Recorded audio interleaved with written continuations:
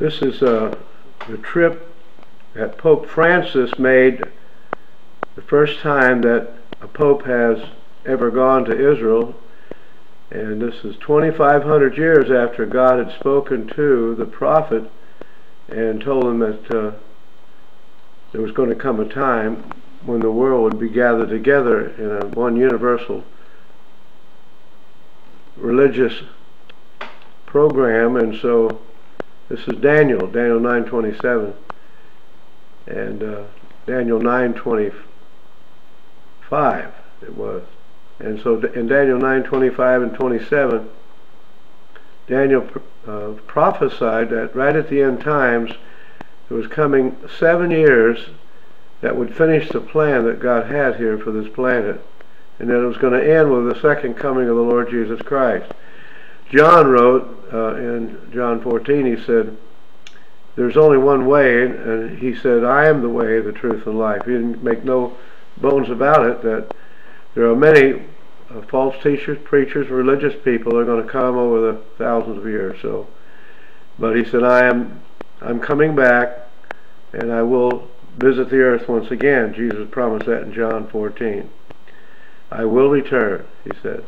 Here now we have Netanyahu, Peres, and Pope Francis are coming together with a military parade, and they're showing that uh, Pope Francis is now going to be looking forward to sitting in the new temple when it, it, it is constructed.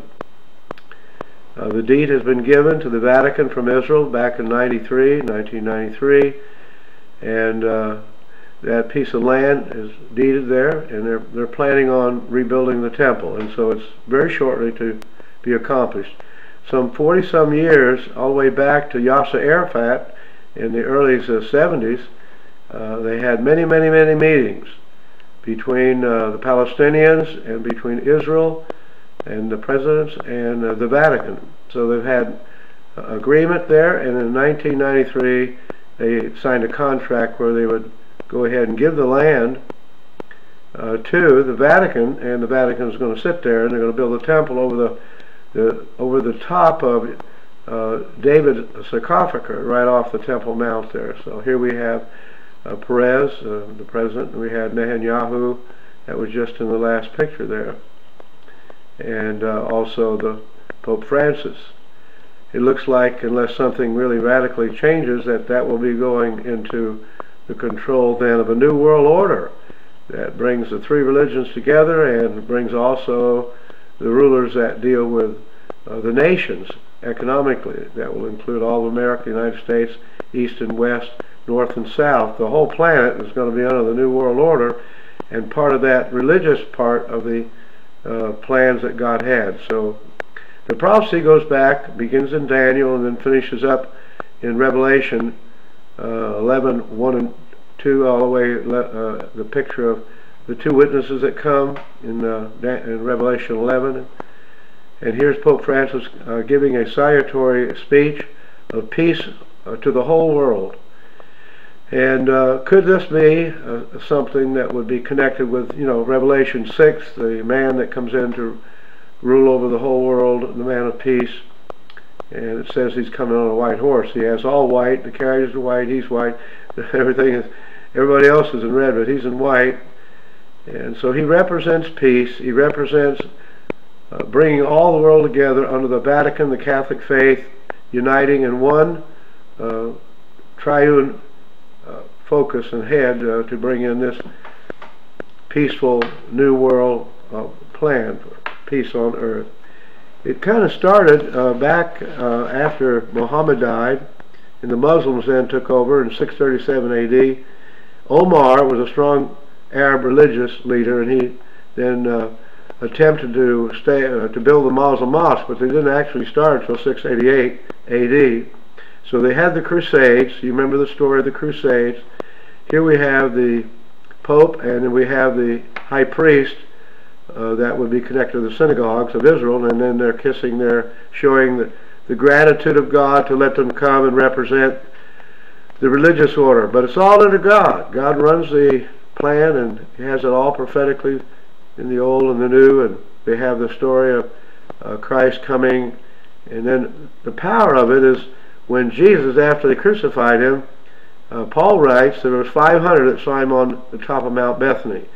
And of course the book of Acts says that uh, they saw him. The angel said, what are you standing here? And he said, well, I'm, I'll be back. And so he, the angel spoke, and, and then Paul said, yes, there was a, a large group of people. 500 of them saw him go up into the air. That's one of the miracles that a lot of times we just kind of ignore, but that's a powerful thing that's impossible. Nobody can go up through the clouds like that, yet they said that he did. And they saw him alive after they had nailed him, and he lost 13 pints of blood. So here's a picture of that group now in Salutatory, and uh, here the uh, the lining of the Jesuits and the New World Order, and uh, many things that are that have come together in a meeting to bring one unified world government. And so uh, we're thankful for the peace that God is using here. And remember, Yahweh, the great God of the universe, brought his son Jesus, and Mother Mary had a child. And so those chromosomes for Jesus, the male ones, had to come somewhere. It didn't come from Mary. She didn't, you know, have any maleness in her. She's a female. And so God created a supernatural miracle, and the Virgin Mary uh, was uh, overshadowed by the by the Holy Spirit, and that which came from her is the Son of God. Jesus declared that he was the Messiah when he was giving out water to the woman that came to the well in John, and um, so he said, she said, "Well, we're looking for the Messiah," and he said, "Well." You're looking at him. I that speak unto you am he, said. He claimed to be the Messiah. Uh, he didn't deny that, and uh, the Pilate put the signs in three languages. This is the Son of God and uh, the King of the Jews. So we're remarking that just quickly as we look at this historical document, the prophecy being fulfilled after 2,500 years, Daniel 9:27. God bless this video as it's being shown.